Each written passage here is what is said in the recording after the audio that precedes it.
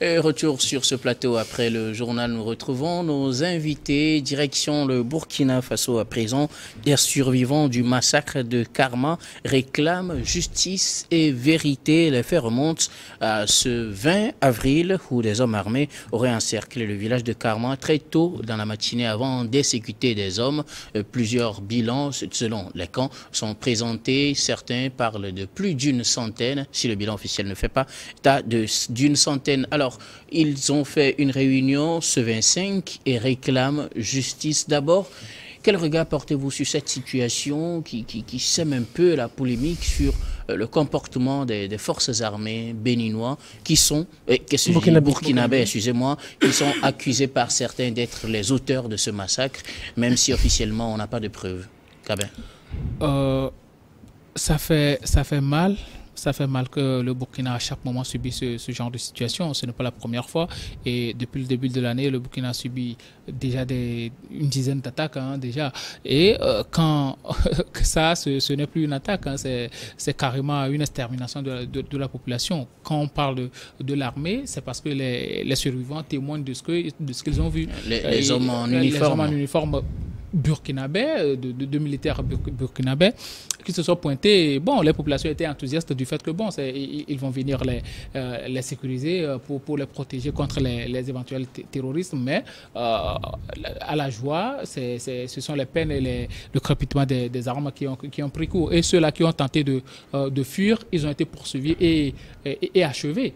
Donc aujourd'hui, je pense que l'État burkinabé et surtout le, pouvoir de Traoré gagnerait à mener rapidement les enquêtes, à situer les responsabilités et surtout à punir. Parce que si ce n'est pas véritablement les, militaires burkinabés et euh, ce sont des, des hommes déguisés hein, en, militaires burkinabés qui ont porté leur tenue pour, pour, pour venir euh, exterminer les, les gens dans, dans, ce village, je, trouve que c'est assez grave. C'est tellement grave, hein, mais j'ose croire que bon, le, le, pouvoir euh, burkinabé aujourd'hui va essayer quand même de, de, tout faire pour pouvoir régulariser la situation, parce que quand on dit euh, certains tirent le drap de, de leur côté, de, pour, pour certains c'est 80, pour d'autres c'est 100, pour d'autres c'est plus que 100 et tout ça, je pense que c'est le procureur parle d'une soixantaine. Ouais, bon, ça ne fait pas bonne presse. Même si c'est une personne qui a été tuée, ça ne fait pas bonne presse. Je pense que le pouvoir aujourd'hui, Burkinabé surtout, a besoin euh, d'une bonne communication. C'est ce qu'ils ne font pas. Moi, je, je trouve surtout qu'il y a une certaine lassitude au niveau de la communication de, euh, de ce pouvoir-là. Il faut répondre souvent avec promptitude. Surtout quand tu es, quand tu es dans un pays euh, instable, il faut toujours être au devant de la presse pour pouvoir s'expliquer afin d'évincer euh, euh, tout soupçon et euh, tout doute. Sinon, les spéculations vont aller de bon train et ce sont souvent les, ces spéculations qui vont devenir vérité. Donc, je pense que le pouvoir de travailler gagnerait beaucoup plus à, communiquer et surtout à mettre sous les verrous ceux-là qui ont eu à commettre ces actes-là. Parce que moi, je doute fort que ce soit les, les terroristes qui aient eu à, à, poser ce, ce genre d'actes. Parce que ce n'est pas la première fois. Entre-temps, il y a eu des, des gens qui avaient été recrutés dans, l'armée, qui ont eu à commettre euh, des, forfaitures dans, dans, une zone. Et aujourd'hui, on nous, dit que ce sont euh, les militaires eux-mêmes qui sur le terrain, parce qu'avec des, des, des, véhicules blindés, des pick-up et tout ça, je ne sais pas si euh, les terroristes opèrent de cette manière-là. Il faut quand même et essayer de, euh, de faire la lumière sur cette affaire pour que euh, euh, les, les Burkinabés soient, situés. Quoi qu'il en soit, c'est assez déplorable hein, que ces, ces, villes-là soient, soient, soient, passées soient passées à trépas comme ça devant, des, devant leurs enfants. J'imagine un peu le, traumatisme qu'ont vécu les enfants et même les parents de, de ces personnes-là qui, qui ont été tuées devant eux c'est assez grave il faut y remédier. Il faut faire la lumière sur la situation. C'est également ce que réclament euh, les, rescapés ou, euh, je, si j'ai pu me permettre, les thèmes des villageois qui, réclament euh, vérité et justice dans cette affaire. Firmet et qu'est-ce que vous avez à dire sur cette nouvelle affaire qui, entache un peu la réputation hein, des, des des militaires burkinabés, même si jusqu'à présent, on n'a pas vraiment les preuves concrètes que c'est effectivement les militaires qui ont commis ce massacre-là. Vous, savez, je sais qu'il y a des, des bévues souvent euh, qu'on commet, qui se commettent, mais cette situation paraît beaucoup, beaucoup plus floue. Euh, c'est-à-dire, euh, je me demande quel intérêt les militaires ont. On sait qu'il y a eu une situation comme cela. Quel intérêt ces militaires ont à descendre dans un village et à tuer une soixantaine de, personnes. Euh, le journal Libération, euh, journal français, parle de 150 morts.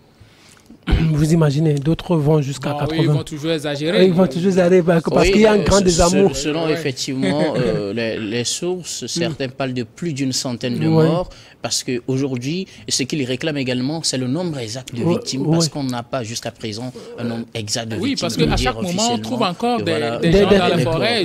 D'accord, euh, oui, on trouve toujours des, décors. Donc, même le gouvernement, bon, le procureur euh, s'est arrêté sur le chiffre de 60. Une soixantaine. Une soixantaine. Vous savez, même bien, bien avant, euh, ce qui fait que ça me paraît un peu plus fou, même bien avant, il y avait eu une attaque où les, les terroristes avaient tué les militaires. Et moi, je me demande que, je me demande si ce ne sont peut-être les, terroristes là, qui ont pris les, les, uniformes, militaires. et euh, euh, tous les biens militaires, c'est-à-dire voitures, les pick-up et autres, et ils se sont habillés en militaire, et ils sont, sont descendus dans le village et tués, et, et tués. Et parce que je me demande l'intérêt c'est où? L'intérêt, c'est où dans cette histoire-là? Parce que les militaires eux-mêmes vont, se dire on, on, va dans un village et on tue. Pour quel intérêt? Pour quel intérêt Si c'était les, les, euh, les, les, djihadistes ou les terroristes qui, qui tuaient, donc on va se dire bah, que, que c'est une attaque terroriste et on, on, on, on le compte, on, le marque. Maintenant, cette situation-là, les, militaires qui vont débarquer dans un village et puis tuer, pour le moment, moi, je euh, je, porte, je, euh, je ne porte pas encore de, crédit. Peut-être qu'ils ont eu des informations selon lesquelles ces, ces villageois-là hébergeaient des, des, terroristes, on ne sait jamais. Ou bien, il y a des terroristes dans ces jours. Parce que c'est un petit village hein, de, de, de 400 habitants habitat à peine. Oui, et aussi, l'autre chose, à ce niveau-là, comme Gabin Adjaro le dit, c'est parce que les, militaires euh, euh, n'ont pas l'information exacte. Ils n'ont pas les renseignements exacts par rapport à, euh, à la situation géographique ou la localisation des terroristes. Ils n'ont pas toutes les informations. Vous savez, la première bataille, la première bataille dans cette lutte terroriste, c'est quoi? C'est les renseignements. Parce que les gens vous ne, ne, marquent pas sur leur front terroriste. C'est une guerre asymétrique. Donc vous ne les connaissez pas. Donc il faut que vous ayez des informations euh, euh, nécessaires ou avec netteté. Ce que vous voulez dire, c'est qu'on pourrait peut-être confondre, Ces, citoyens à des terroristes. donc on les aurait massacrés euh, en les assimilant à des terroristes. En les assimilant à des terroristes. On se dit peut-être ceux-là hébergent des terroristes. On ne sait pas qui est terroriste, même sur l'information qu'on a, c'est que ceux-là est bête des terroristes. Et on vient, on ouvre le feu sur tout le monde. Et ça aussi, c'est grave. C'est grave. Vous savez, euh, le Burkina Faso est en train de traverser une situation difficile. Moi, j'ai dit la, la sécurité du Burkina Faso est à terre. Même si les Burkinabés, qui sont mes frères, pour qui j'ai une certaine admiration, n'arrivent toujours pas à l'accepter. Euh, vous savez, je suis allé au Burkina Faso, j'ai fait des mois là-bas. C'est un peuple tellement intègre. Et moi, je les adore, les Burkinabés. Ceux-là qui nous suivent doivent le savoir. C'est un peuple intègre. C'est des gens gentils. C'est des gens aimables. Avec tout ce qu'ils sont en train de vivre maintenant, mais je me dis, euh, c'est parce qu'il y a une certaine inconséquence. Et peut-être ceux-là qui sont à la tête du pouvoir, maintenant à la tête du pays maintenant, n'arrivent pas à se rendre compte que cette guerre-là, ils ne peuvent pas la mener seuls. Ils se trompent et détruisent la sécurité du Burkina Faso. C'est grave. Ibrahim Traoré ne peut jamais s'en sortir seul avec les Russes. Ce n'est pas possible. Il ne peut pas s'en sortir seul en disant non à la France. Encore que, vous savez, les Occidentaux, ils ont tout pensez que la, France doit se poser comme condition sine qua non si on veut résoudre l'équation de, euh, de la lutte contre le terrorisme? Oui, non, le, le, truc, mais le jeu même devrait être simple. C'est-à-dire... S'il n'y a pas la France, on n'a pas de victoire? S'il n'y a pas la France, vous allez avoir quelle victoire oh, La France était là depuis, mais il y avait eu des, attaques. Eh. la solution, c'est pas aussi la France. La, solution, non, non, oui, mais, c'est-à-dire, une seconde. Oui, mais, la solution, c'est quoi? C'est qu'en réalité, même si vous les connaissez, vous, vous, vous, vous, savez que les gens peut-être que vous accusez, vous pointez du doigt, sont sensiblement de mauvaise foi. Vous ne leur démontrez pas. Mais c'est-à-dire, vous êtes avec tout le monde. Parce que vous pouvez prendre un peu partout, mais vous ne faites pas, vous n'affrontez pas les gens. Parce que ceux que vous affrontez sont plus forts que, que vous. rester avec tout le monde quand on sait que tel ne va pas nous aider ne nous met pas aussi en difficulté si cette personne pourrait avoir certaines informations pour nos ennemis? Oui, il pourrait avoir, mais c'est-à-dire, vous faites, vous, c'est la diplomatie. Vous avez besoin de tout le monde. Mais regardez, si vous chassez celui-là, quelqu'un, votre ennemi, qui est plus puissant, qui est plus fort que vous, vous vous mettez encore plus en danger. Peut-être, il pourrait à un moment donné vous aider d'une manière ou d'une autre. Mais là, quand vous dites, vous l'affrontez comme cela, les gens, ceux là, tous ceux-là qui ont affronté les Occidentaux, on a vu comment ils ont fini. On a vu comment ce que leurs pays sont devenus après. C'est comme cela. Ce n'est pas un jeu. Et regardez, depuis qu'il est à la tête de ce pays, ça fait déjà combien de mois déjà? Bientôt un an. C'était en septembre ou en octobre? C'était en septembre. vous savez, fin septembre. Ça il fait déjà plus de six mois. Depuis qu'il est là, quel bilan? Positif, aussi positif soit-il, pourrait-il brandir? Quel bilan son ami Asmi Goïta, aussi positif soit-il, pourrait-il brandir Regardez même ce qui se passe. que les militaires au Burkina, au Mali n'ont pas fait de bilan positif Non, quel bilan positif Moi, si une seule personne décède, c'est déjà votre bilan est négatif est teinté. Ça dit que tous les présidents qui ont été là ont des bilans négatifs et la France également. Non, c'est-à-dire, parce que, quand la France était là, il y avait des tueries. Quand les présidents Ibeka et autres étaient là, il y avait des tueries. Quand Rock était là, il y avait des tueries. Quand Damiba était là, il y a des tueries. C'est-à-dire que même tous les présidents de la sous-région, parce qu'il y a eu des morts un peu partout dans la sous-région. On a un bilan négatif. Au Bénin, on a un bilan négatif. Au Ghana, un bilan négatif, ainsi de suite. Non, ce que je voudrais dire, c'est que ceux-là qui se disent qu'ils peuvent faire la lutte seule, je voudrais parler d'Asmi Goïta. Il fait la lutte seule, mais les Maliens continuent de mourir. Et moi, je dis, mais Dieu Maou, il est là. Et il avait bien rassuré les gens. Et qu'il y a un Malien qui est tombé, un militaire, tout récemment, il y a encore un militaire qui est tombé. Et il y a aussi son, histoire de directeur de cabinet, qui est aussi tombé, qui est mort. Ça veut dire que son bilan est négatif. Euh, Ibrahim Traoré ici, qui fait la même chose avec des Burkinabés qui meurent régulièrement, je me dis qu'il a un bilan négatif. Il n'a pas la force nécessaire. Il n'a pas les couilles nécessaires pour combattre les terroristes. Ils ne pourront pas s'en sortir. Ce n'est pas pour maintenant. Parce que vous n'êtes toujours pas été d'accord. Parce que vous savez, moi j'ai l'habitude de dire ceci, même si vous n'êtes pas d'accord. Non, moi je, ne donne pas mon point de vue. Ah oui, hein. oui, mais, même si vous n'êtes pas d'accord, moi je dis, entre temps les années 90, on nous a donné la démocratie pour nous déstabiliser.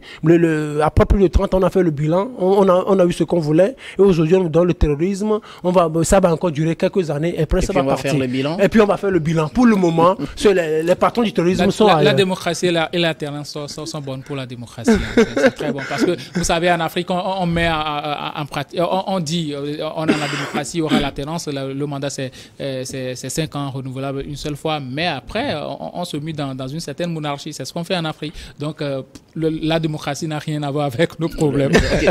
oui, je, je reste avec vous, euh, Gabin.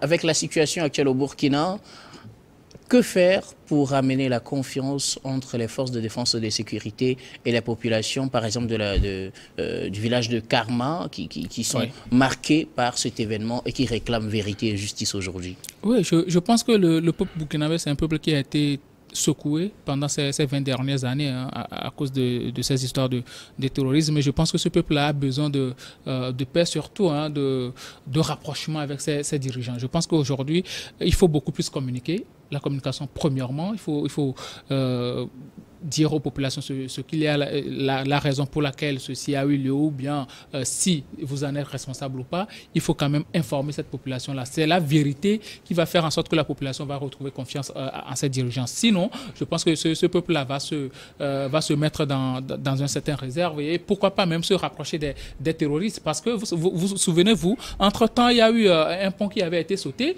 et ce sont des terroristes qui avaient alimenté certains villages. Et souvenez-vous aussi, il y avait des, femmes qui avaient été enlevées entre-temps. C'est grâce à Dieu qu'on a pu les, euh, les sauver. Il y a eu l'histoire des supplétifs dont euh, l'enquête n'a pas encore abouti, on n'a pas encore bouclé l'affaire. Tout ça là, on n'a pas encore fait la vérité autour. Donc aujourd'hui, je pense que euh, euh, le, le, président burkinabé d'aujourd'hui, euh, Ibrahim Traoré et son gouvernement doivent quand même être beaucoup plus proches de la population, communiquer toujours avec eux, ne pas se, se mettre dans une certaine, dans une certaine silence. Moi, c'est ce qui m'énerve en fait quand ce genre de situation se pose. Généralement, il y a un communiqué officiel quand il y a un conseil des Oui, bon, le, le communiqué officiel fait état, le communiqué officiel fait état de ce qui s'est passé, du nombre de morts, du bilan et tout et tout. C'est ce qu'ils font. Mais est-ce que c'est ce que la population veut? Les gens, ils savent déjà que, bon, leurs parents sont morts. Ils, ils, ils ont été tués devant eux. Qu'est-ce que vous Donc, vous n'avez rien là exactement? Allez sur voulez... le terrain, communiquer avec la population. Vous savez, euh, on ne sait pas ce qui s'est passé, mais quand même, on va arriver à élucider la, la, la, euh, ce qui s'est passé. Et oui. là, la population va se mettre dans une certaine mesure en attendant que vous arrivez quand même à mettre la lumière. Mais quand vous vous taisez, mm -hmm. ben, eh, eh, ça veut dire que vous vous accusez vous-même. Ce que vous mettez dans ce terre, c'est ne pas aller sur le terrain. Ce, ouais. n'est pas aller sur le terrain. Ce n'est pas aller sur le terrain. Vous, vous restez dans vos canapés au bureau, soi-disant, vous vous dites, bon, nous on travaille et on travaille, mais la population ne voit pas. Ce que la population veut, c'est de vous voir sur le terrain. Et ce sont vos éléments que eux, ils ont vu parce qu'ils ont porté les uniformes burkinabés, des militaires burkinabés. Donc, selon cette population-là, et dans les témoignages, c'est tout ce que les, les, populations disent. Hein, ce sont des militaires qui sont venus assassiner nos frères, nos enfants. Et c'est grave pour une république. Ils n'ont même pas épargné les enfants et les femmes. Normalement, en temps de guerre, on tue souvent les hommes et tout, mais on, peut, euh, euh, dans la bonne mesure, renvoyer les femmes ou bien mm. les, les, bastonner et les enfants, mais on ne les tue pas puisque bon, on, les considère, ce, ce, sont des personnes euh, assez, vulnérables. et tout, on ne les touche pas. Mais ici, on a tué les femmes, on a tué les enfants, donc c'est assez grave. Pourquoi un gouvernement ou bien un président reste dans son palais à ce moment-là? Il faut aller sur le terrain, il faut aller discuter avec ces gens, d'autant plus qu'ils ne sont pas nombreux. À peine il, il, va rester 300, 300 euh, habitants là-bas. Il faut aller vers eux, discuter avec eux, établir la situation. Voilà ce qui s'est passé, recueillir les vrais témoignages et leur dire voilà, j'ai recueilli les témoignages. Après, on va faire la lumière et au moins il y aura une certaine confiance. Mais aujourd'hui, la population burkinabé, quand, quand il voit, euh, quand, quand un citoyen voit un militaire, comment il va se comporter? Fuir ou bien le voir comme un frère? Alors que la dernière fois, on avait établi des, des pour pouvoir permettre à la population euh, d'aider à la lutte contre le terrorisme. Mais aujourd'hui, avec cette situation-là, ça met en péril euh, l'effectivité hein, de, de, de, de, ces couvertes-là. Donc, je pense que le gouvernement doit beaucoup plus communiquer, faire plus même que la communication à la télé, aller sur le terrain, discuter avec la population, mettre les gens en confiance pour qu'ils euh, arrivent quand même à trouver une certaine paix quand ils voient un militaire, quand ils voient euh, un corps habillé. Merci. Firmin, pour terminer avec vous, est-ce que les enquêtes diligentées, avec les résultats qu'on aura peut-être très bientôt, ne pourront pas permettre de remettre la population en confiance? Ou bien forcément, il faut aller sur le terrain, rencontrer les populations comme le préconise Gabin? Non, pour, répondre pour, à là où vous avez chuté, euh, la meilleure des choses, c'est d'aller rassurer la population.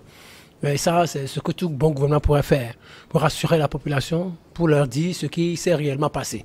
C'est ça, ce, ce qu'il Ce qui s'est réellement passé, c'est ce que l'enquête va permettre de déterminer. Non, mais une chose est sûre, une chose est sûre. Je, ne suis pas, je, je doute de, de, la fiabilité et de la sincérité de, de, la future enquête, qui, euh, ou des résultats, des futurs résultats de, l'enquête euh, euh, qui est en cours. Parce que si ce sont les militaires qui sont descendus dans ce village et ont massacré les gens.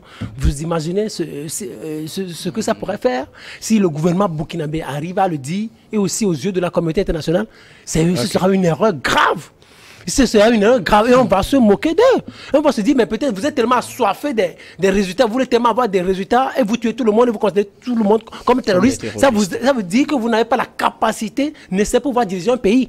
Et pour diriger un pays, ce n'est pas l'armée, c'est les renseignements, c'est un certain nombre de choses. Donc vous n'avez pas la capacité. Donc les résultats, mais il faut vous attendre à ce que les résultats ne soient, ne soient pas ce que vous voulez. De la meilleure des choses, pour, il faut aller calmer les gens, leur dire qu'en réalité, leur expliquer ce qu'on pourrait euh, euh, euh, expliquer et aussi les dédommager pendant certain, un, certain temps. On parlait de climat de confiance tout à l'heure. Avec tout ce qui est en train de, se passer. En quelques secondes, puisque le temps est contre Oui, les, militaires ou l'actuel chef de la jeune qui est au pouvoir est en train de semer, ou est, en train de, faire, oui. oui, de, de faire disparaître le climat de confiance qu'il y avait entre lui et les populations. Parce qu'au au, fil des mois, on se, rend compte qu'il il, il, il, il, il dégamme et il, va d'erreur en erreur.